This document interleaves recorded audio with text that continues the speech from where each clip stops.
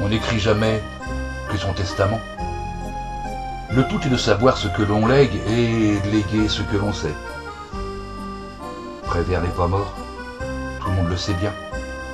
Ne nous racontez pas d'histoire, ce n'est qu'une vieille enveloppe que l'on a enterrée, dont le cœur et les yeux manquaient.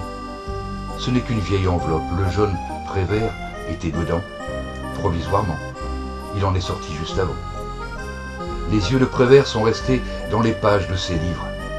Il nous regarde entre les lignes de ses poèmes fous. Le cœur de Prévert est vivant entre les pages de ses livres. Il bat au rythme des mots de ses poèmes fous. Il n'est que de soulever la couverture, il a mis dedans la vie et les fleurs, l'amour, la lutte et le vent. Il n'est que de soulever la couverture, et le vent pousse la page de garde.